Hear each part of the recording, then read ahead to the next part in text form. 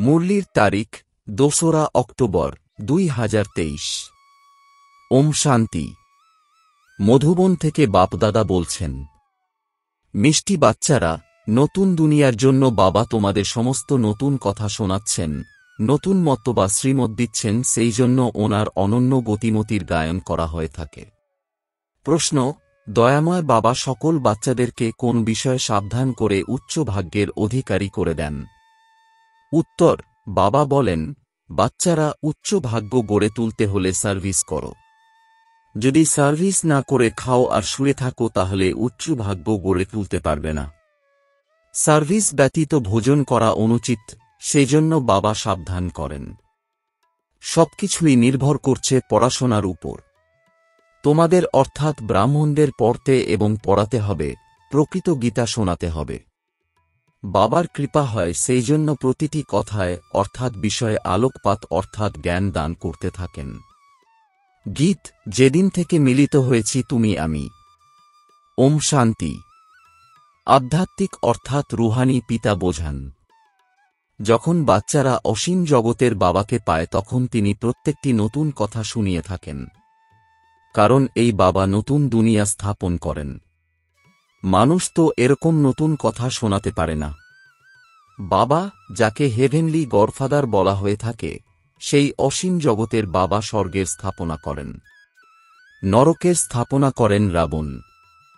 পাঁচ বিকার নারীর মধ্যে, পাঁচ বিকার পুরুষের মধ্যে, সেটি হয়ে গেল রাবণ সম্প্রদায়। তাহলে এই নতুন কথা শোনালেন, তাই না? স্বর্গের স্থাপক হলেন পরমপিতা পরমাত্মা যাকে রাম বলা হয়। নরক তৈরি করে রাবণ, যার চিত্র তৈরি করে প্রতি বছর জ্বালিয়ে থাকে। একবার জ্বালানো হয়ে গেলে তখন আবার তার এফিজি অর্থাৎ কুশপুত্তলিকা থোড়াই দেখতে পাওয়া যাবে। সেই আত্মা গিয়ে অন্য শরীর ধারণ করে। ফিচার্স ইত্যাদি বদল হয়ে যায়। এ তো রাবণের সেই ফিচারস প্রতি বছর তৈরি করে আর জ্বালিয়ে থাকে। বাস্তবে যেমন নিরাকার শিব বাবার কোনো ফিচার নেই, তেমনি রাবণেরও কোনো ফিচার নেই, এই রাবণ হল বিকার। বাবা এ কথা বোঝান। মানুষ ভক্তি মার্গে কি চায় ভগবান আসেনি ভক্তির ফল প্রদান করতে অথবা রক্ষা করতে কারণ ভক্তিতে অনেক দুঃখ রয়েছে। সেখানে সুখ হল অল্পকালের ক্ষণভঙ্গুর। ভারতবাসীদের জীবন হল সম্পূর্ণ দুঃখময়। কারোর সন্তান মারা গেছে কেউ দেউলিয়া হয়ে গেছে, জীবন তো দুঃখী থাকে, তাই না? বাবা বলেন, আমি আসি সকলের জীবনকে সুখী করতে। বাবা এসে নতুন কথা বলেন, তিনি বলেন, আমি এসেছি স্বর্গের স্থাপনা করতে। ওখানে তোমরা বিকারে যাবে না। ওটা হল নির্বিকারী রাজ্য, এটা হল বিকারী রাজ্য। আমাদের সেই স্বর্গের রাজ্য চাই তাহলে তা বাবাই স্থাপন করেন। নরকের রাজ্য রাবণ স্থাপন করেন। সেই জন্য বাবা জিজ্ঞাসা করেন, তোমরা স্বর্গে যাবে। বৈকুণ্ঠের মহারাজা মহারানী বিশ্বের মালিক হবে। এ কোনো বেদশাস্ত্রাদির কথা নয়। বাবা এরকম বলেন না যে রামরাম বলো বা দুয়ারে দুয়ারে ধাক্কা খাও, মন্দির, তীর্থাদিতে যাও অথবা গীতা, ভাগবত ইত্যাদি বসে পড়ো। না, সত্যযুগে তো শাস্ত্র থাকে না। তোমরা অবশ্য কতই না বেদশাস্ত্রাদি পড়ো, যজ্ঞ, জপ দান পুণ্যাদি করো, এ হলই ধাক্কা খাওয়া, এর থেকে প্রাপ্তি কিছুই নেই। কোনো এইম অবজেক্ট নেই।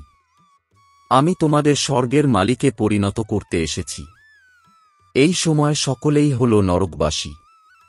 যদি কাউকে বলো যে তোমরা হলে নরকবাসী, তাহলে বিগডে অর্থাৎ বিরক্ত যাবে।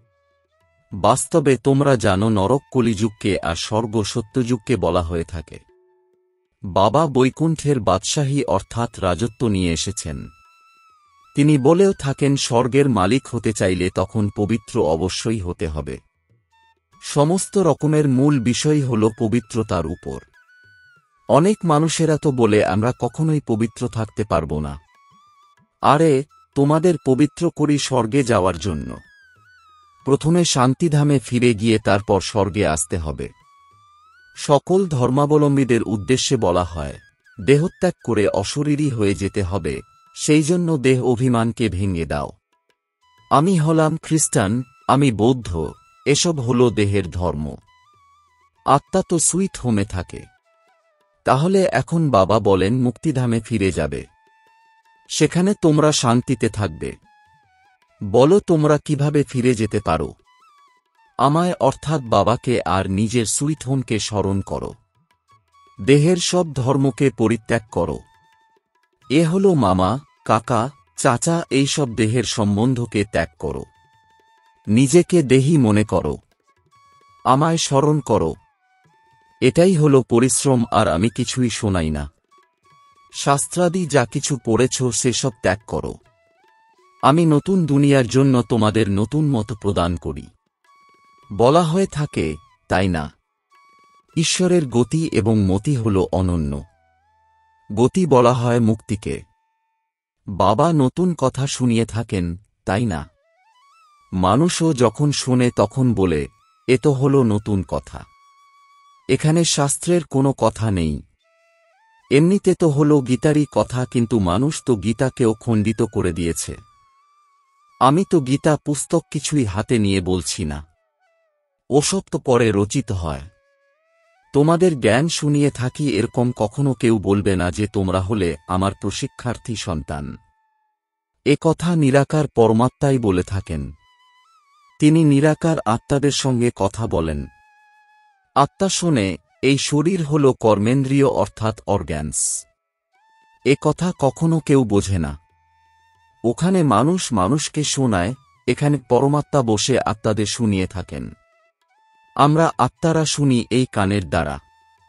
তোমরা জানো পরমপিতা পরমাত্মা বসে বসে বুঝিয়ে থাকেন। মানুষ তো এর জন্য আশ্চর্য হয়ে যায়, ভগবান কীভাবে বোঝাবেন? তারা তো মনে করে শ্রীকৃষ্ণ ভগবানুবাচ। আরে, শ্রীকৃষ্ণ তো হলেন দেহধারী। আমি তো দেহধারী নই আমি বিদেহী আর বিদেহী আত্মাদের শুনিয়ে থাকি। সেই জন্য এই নতুন কথা শুনে মানুষ আশ্চর্য হয়ে যায়। কল্পপূর্বে যে বাচ্চারা শুনে গেছে তাদের তো অত্যন্ত ভালো লাগে, তারা পরে মাম্মা বাবা বলে। এখানে অন্ধশ্রদ্ধার কোনো কথাই থাকতে পারে না। লৌকিক রীতিতেও বাচ্চারা মাতাপিতাকে মা বাবা বলে। এখন তোমরা সেই লৌকিক মাতাপিতার স্মরণ ছেড়ে পারলৌকিক মাতাপিতাকে স্মরণ করো। এই পারলৌকিক মাতাপিতা তোমাদের অমৃতের আদান প্রদান করা শেখাবেন। তিনি বলেন, হে বাচ্চারা, এখন বিষের আদান প্রদান করা ত্যাগ করো। আমি তোমাদেরকে যে শিক্ষা দিয়ে থাকি তা একে অপরকে দাও তাহলেই তোমরা স্বর্গের মালিক হয়ে যাবে। অল্প শুনলে তাহলেও স্বর্গে চলে আসবে। কিন্তু অন্যদের নিজের সমান তৈরি করতে না পারলে তখন গিয়ে দাসদাসী হবে। দাসদাসীদের মধ্যেও নম্বরের অনুক্রম রয়েছে। বাচ্চাদের প্রতিপালনকারী দাসদাসীরা অবশ্যই ভালো পদমর্যাদাযুক্ত হবে। এখানে থেকেও যদি না পড়ে তাহলে দাসদাসী হয়ে যায়। প্রজাদের মধ্যেও নম্বরের অনুক্রম রয়েছে। যে ভালোভাবে পড়ে সে কত উচ্চ পদ পায়। প্রজায় ধনশালীদেরও দাসদাসী থাকবে। প্রত্যেককে নিজের চেহারা দেখতে হবে। আমরা কি হওয়ার অর্থাৎ পদমর্যাদা উপযুক্ত হয়েছি? বাবাকে কেউ যদি জিজ্ঞাসা করে বাবা তৎক্ষণাৎ বলে দেবেন। বাবা তো সবকিছু জানেন আর প্রমাণ করে বলেন যে এই কারণে তুমি এই হবে। অবশ্যই সারেন্ডার করেছ, তারও হিসেব নিকেশ রয়েছে। সারেন্ডার করেছে, কিন্তু কোনো সার্ভিস করে না। কেবল ভোজন পান করতে থাকে তাহলে যা দিয়েছে তা খেয়ে দিয়ে শেষ করে দেয়। যা দিয়েছে তাই খেয়েছে সার্ভিস করেনি তাহলে গিয়ে থার্ড ক্লাস দাসদাসী হবে। হ্যাঁ সার্ভিস করে এবং খাওয়া দাওয়াও করে, তাহলে ঠিক আছে। কাজকর্ম কিছুই করে না আর খেয়ে খেয়ে শেষ করে দেয় তাহলে তো আরই বোঝা চেটে যায়। এখানে থাকে, যা দেয় তাই খেয়ে নেয় অবশ্যই যে দেয় না কিন্তু সার্ভিস করে অনেক তাহলে সে উচ্চ পদ প্রাপ্ত করে নেয়। মাম্মা ধন সম্পদ কিছুই দেয়নি, কিন্তু পদ অনেক উচ্চ পায়। কারণ বাবা রুহানি সার্ভিস করে। হিসাব রয়েছে, তাই না? অনেকের নেশা থাকে, আমরা তো সবকিছু দিয়ে দিয়েছি, স্যারেন্ডার হয়েছি। কিন্তু খেয়েও তো থাকো, তাই না? বাবার মতন তো সকলেই বলে। সার্ভিস করে না, খায় আর শেষ করে দেয়। কথিত রয়েছে, তাই না? যে শুয়ে থাকে সে হারিয়ে ফেলে। আট ঘণ্টা সার্ভিস করা ব্যতীত খাওয়া অনুচিত। খেতে থাকলে তখন জমা কিছুই হবে না, তাহলে সার্ভিস করতে হবে। বাবাকে তো সবকিছু বলে দিতে হয়, তাই না? যেন কেউ এরকম না বলে যে আমাদের কেন বলা হয়নি। বাবা অর্থাৎ ব্রহ্মা সবকিছু দিয়েছেন আর তারপরেও সার্ভিসও তো করতে থাকেন, সেই জন্য উচ্চ পদ রয়েছে। সার্ভিস না করে সারেন্ডার হয়ে আর বসে বসে খেতে থাকলে তখন কি হবে অর্থাৎ কি পথ পাবে? শ্রীমতানুসারে চলে না। বাবা বিশেষভাবে বোঝাচ্ছেন, এইরকম নয় যে পরে আগতরা বলবে যে আমার পদ এরকম কেন হল? তখন বাবা বোঝান, সার্ভিস না করা, ফ্রিতে খাওয়া, তার ফল কল্পকল্পান্তরের জন্য এমন হয়ে যাবে, সেই জন্য বাবা সাবধান করেন। বোঝা উচিত তো কল্পকল্পান্তরের জন্য আমাদের পদ ভ্রষ্ট হয়ে যাবে। বাবার দয়া হয় সেই জন্য প্রতি কথায় আলোকপাত করতে থাকেন। সার্ভিস না করলে তখন উচ্চ পদ পেতে পারবে না। যারা গৃহস্থী জীবনে থেকেও সার্ভিস করে, তাদের পদ অনেক উঁচু। সবকিছু নির্ভর করছে পড়া এবং পড়ানোর উপর। তোমরা হলে ব্রাহ্মণ, তোমাদের প্রকৃত গীতা শোনাতে হবে। ওরা অর্থাৎ লৌকিকে তো হাতে পুস্তকাদি তুলে নেয়। তোমাদের হাতে কিছুই নেই। তোমরা হলে সত্যিকারের ব্রাহ্মণ। তোমাদের সত্য শোনাতে হবে, সত্যিকারের প্রাপ্তি করাতে হবে, আর সকলে লোকসানি করিয়েছে সেই জন্যই লেখা হয়, ওসব হল মিথ্যা। বাবা সত্য শুনিয়ে সত্য ভূখণ্ডের মালিক বানিয়ে দেন। এ হল বুঝবার মতন কথা। বিশ্বের মালিক হওয়া কম কথা কি? যে সেন্সেবল বাচ্চা হবে সে তো প্ল্যান তৈরি করতেই থাকবে। আমরা সোনার ইটের এরকম এরকম ঘরবাড়ি তৈরি করব, এই করব। ধনমানের সন্তান যখনই বড় হয়ে যায় তখন তাদের চিন্তা চলতে থাকে যে আমরা এভাবে করব, এই বানাব। তোমরাও ভবিষ্যতে প্রিন্স হয়ে যাও তাহলে শখ থাকবে, তাই না? আমরা এরকম এরকম মহল নির্মাণ করব, যা আর কারোর থাকবে না। এই চিন্তা তাদের চলবে যারা ভালোভাবে পড়াশোনা করে আবার পড়িয়ে থাকে। রাজত্ব তো থাকবে, তাই না? তাহলে বুদ্ধিতে এই চিন্তা চলতে থাকা উচিত, আমরা কত নাম্বারে পাশ করব? এ হল বড় স্কুল, লক্ষ লক্ষ, কোটি কোটি মানুষ পড়বে, প্রচুর আসবে। এসব কথা বাবাই বসে বুঝিয়ে থাকেন। ভগবান হলেন অদ্বিতীয় ওনাকেই মাতাপিতা বলা হয়, তিনি এসে অ্যাডপ্ট করেন।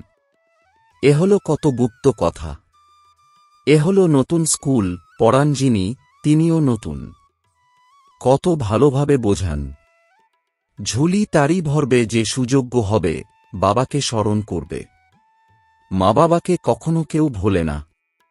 তাহলে সঙ্গমযুগীয় বাচ্চারা বাবাকে কীভাবে ভুলে যেতে পারে? আচ্ছা। দুনিয়া বিশৃঙ্খলতা অর্থাৎ হট্টগোলের মধ্যে রয়েছে আর বাচ্চারা, তোমরা চুপ অর্থাৎ সাইলেন্সে রয়েছ। নিস্তব্ধতার মধ্যে রয়েছে শান্তি, শান্তির মধ্যে রয়েছে সুখ। তোমরা জানো যে মুক্তির পরেই রয়েছে জীবন মুক্তি। বাচ্চারা তোমাদের কেবল দুটি শব্দ স্মরণে রয়েছে, অল্প অর্থাৎ আল্লাহ বা ঈশ্বর, বে অর্থাৎ বাদশাহী। কেবল একমাত্র অল্ফকে স্মরণ করেই বাদশাহী অর্থাৎ রাজত্ব প্রাপ্ত হয়ে গেছে। বাকি আর কি বেঁচে রয়েছে? বাকি রয়েছে ঘোল অল্ফকে পেয়েছ মানে মাখন পেয়ে গেছ, বাকি সব হল ঘোল এরকমই, তাই না? আমরা চুপ করে অর্থাৎ সাইলেন্সে থাকি। জানি যে চুপ করে থেকে আমরা শ্রীমতানুসারে চলতে থাকি। কিন্তু ওয়ান্ডার অর্থাৎ আশ্চর্যের হল এই যে বাচ্চারা অল্পকেও সম্পূর্ণরূপে স্মরণ করে না, ভুলে যায়।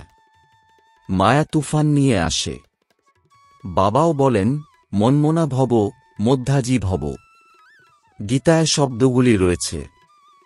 তাহলে তোমাদের গীতা পাঠকারীদের কাছে অর্থ জিজ্ঞাসা করা উচিত যে মনমনা ভব, মধ্যাজি ভবর অর্থ কি? বাবা বলেন, আমায় স্মরণ করো তাহলেই তোমরা বাদশাহী পাবে। দেহের সকল ধর্মকে পরিত্যাগ করে দেহি হয়ে যাও, আর বাবাকে স্মরণ করো তবেই বাদশাহী অর্থাৎ রাজত্ব প্রাপ্ত হবে। গুরুগ্রন্থেও বলা হয়ে থাকে অল্ফের অর্থাৎ ঈশ্বরের জপ করো তবেই বাদশাহী পাবে। সত্যভূখণ্ডের রাজত্ব প্রাপ্ত হয়। আমরা দুনিয়ার থেকে সম্পূর্ণভাবে পৃথক, কেউই এমন বলবে না। বাবা তোমাদের নতুন কথা শোনান, বাকিরা সকলেই পুরানো কথা শুনিয়ে থাকে। কথা অত্যন্ত সহজ। অল্পের হয়ে যাও তবেই বাদশাহী পাবে। তবুও পুরুষার্থ তো করতেই হবে। নিঃসম বানানোর সার্ভিস যত করবে ততই ফল পাবে। মানুষ না অল্পকে জানে, না বেকে জানে। বে অর্থাৎ রাজত্বের মাখন। শ্রীকৃষ্ণের মুখে মাখন দেখানো হয়ে থাকে, তাই না? অবশ্যই স্বর্গের স্থপতি বাদশাহী অর্থাৎ রাজত্ব দিয়েছিলেন। আচ্ছা। মিষ্টি মিষ্টি প্রশিক্ষার্থী বাচ্চাদের মাতাপিতা, বাপদাদার স্মরণসহ স্নেহসুমন আর সুপ্রভাত। আত্মিক পিতার আত্মিক বাচ্চাদেরকে জানাচ্ছি নমস্কার। ধারণার জন্যে মুখ্য সার। এক, সুইট হোমে ফিরে যেতে হবে। সেই জন্য দেহের সমস্ত ধর্ম এবং সম্বন্ধগুলিকে ভুলে নিজেকে দেহি অর্থাৎ আত্মা মনে করতে হবে। এই অভ্যাসেই অভ্যাসী হতে হবে। দুই, বাবার থেকে যে শিক্ষা পেয়েছ, তা অন্যদেরও প্রদান করতে হবে, নিজের মতন করেই গড়ে তুলতে হবে। আট ঘণ্টা সার্ভিস অবশ্যই করতে হবে। বরদান, বিশুদ্ধ ফিলিংয়ের দ্বারা ফ্লু অর্থাৎ সর্দির জ্বরের অসুখকে সমাপ্ত করে বরদানের দ্বারা পালিত হওয়া সফলতা মূর্তি ভব এর বিস্তার, সমস্ত বাচ্চাদের কাছে বাপদাদার শ্রেষ্ঠ মত রয়েছে, বাচ্চারা সদা শুদ্ধ ফিলিংয়ে থাকো। আমি হলাম সর্বশ্রেষ্ঠ অর্থাৎ কোটি কোটির মধ্যে কোনো আত্মা। আমি হলাম দেবাত্মা, মহান আত্মা, বিশেষ পাঠধারী আত্মা। এই ফিলিংয়ে থাকো, তাহলে ব্যর্থ ফিলিংয়ের ফ্লু আসতে পারবে না। যেখানে এই শুদ্ধ ফিলিং রয়েছে, সেখানে অশুদ্ধ ফিলিং আসতে পারে না। এর জন্য ফ্লুয়ের অসুখ থেকে, অর্থাৎ পরিশ্রম থেকে বেঁচে যাবে, আর সর্বদা নিজেকে এমন অনুভব করবে যে আমি বরদানের দ্বারা লালিত পালিত হচ্ছি, সেবায় সফলতা প্রাপ্ত করছি।